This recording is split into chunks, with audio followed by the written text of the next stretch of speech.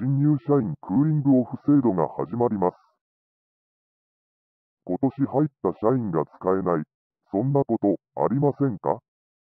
そんな時は、新入社員クーリングオフ制度をご利用ください。6ヶ月以内であれば、弊社がどこよりも高く買い取ります。引き取った社員は海外派遣させるので、逆恨みをされることもありません。経営者の皆さん、これで安心ですね。